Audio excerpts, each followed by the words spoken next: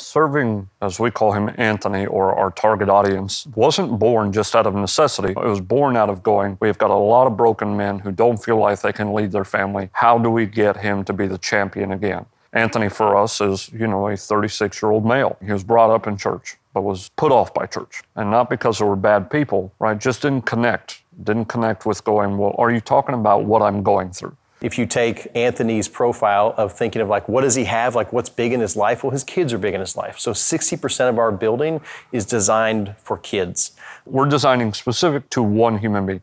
And I think that's where the brilliance of ArtSpeak and what the Hills was doing came together. Before we opened this building, we had 600 people in person. This past Sunday, we had just nine shy of 1,400. During the summer, we had upwards of 700 to 800 a week during Monday through Friday hours, uh, unique visitors. And now we're about 75 to 100 during the day. And uh, the building is disarming. It doesn't look like you imagine a church to look. And so you walk in and you can see a football game playing. You can see, you know, we've had UFC fights playing. And so I'm speaking to Anthony and I'm making him the hero. Discipleship happens when they get in relationship with Jesus. What was not happening before is they weren't even stepping foot in the place. I didn't even have the opportunity. Now I've got an opportunity. Anytime I want to go out of my office and engage the community, I don't have to go very far. I come down a set of stairs and the community is already here.